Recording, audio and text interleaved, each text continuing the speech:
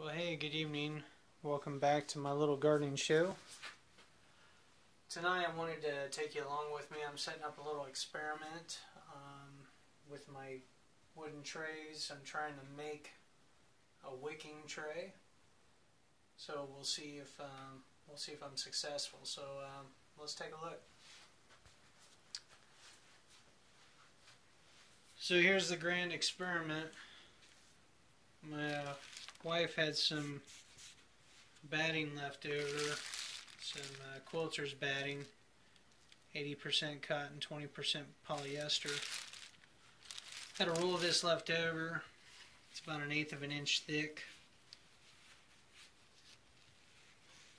And uh, so what I did was I spread it out on the table here, set my grow tray on top of it, and then just cut a pattern so that I had enough to drape over you know, fill the tray and then have uh, an end draping off the side pretty good.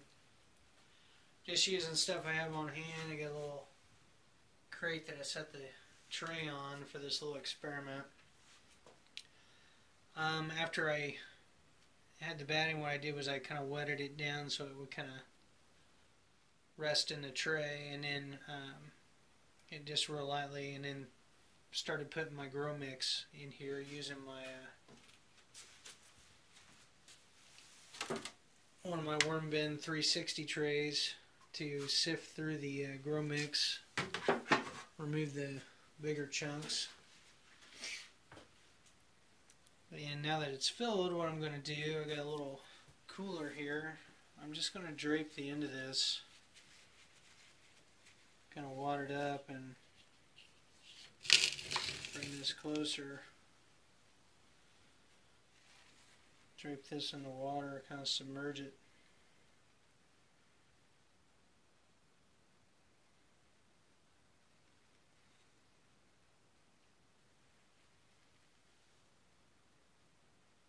So I don't know, it's going to be interesting. I don't know if this is going to work or not.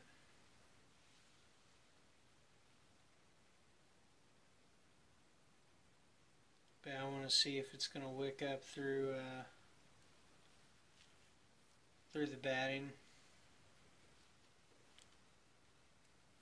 And if it does, then uh, I'm good to go. I've got a tray that I can bottom water by setting up a little container like that. So we'll see. I'm going to leave this sit overnight. Let it sit overnight, and then uh, tomorrow I'll come down and just feel the fabric and see if the water through uh, capillary action came up through the batting and into the tray. If it doesn't work, then I'll probably uh, see, you know, go online and see if there's, you know, some specialized material or, or something I can get that would accomplish what I'm wanting to do.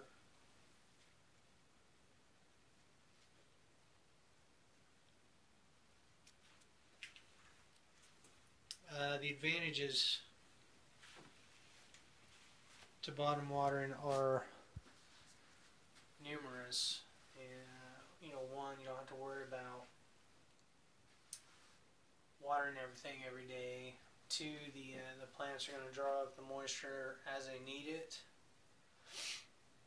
And uh, you, you cut down on a lot of uh, diseases that could result by, you know, watering things. You don't have to worry about things getting too damp. So, uh,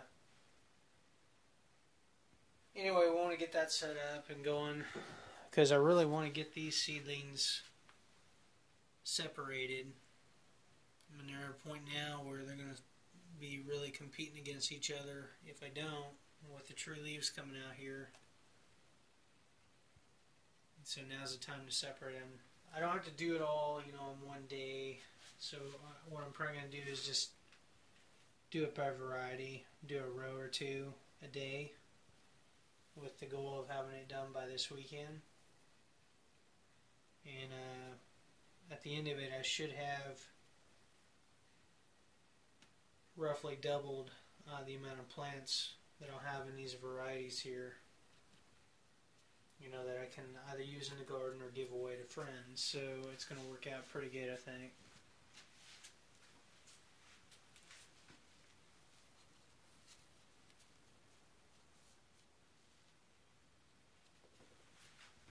So we'll see. We'll let it soak overnight, see if it works. Um, I guess that's it for now. Until next time, happy gardening.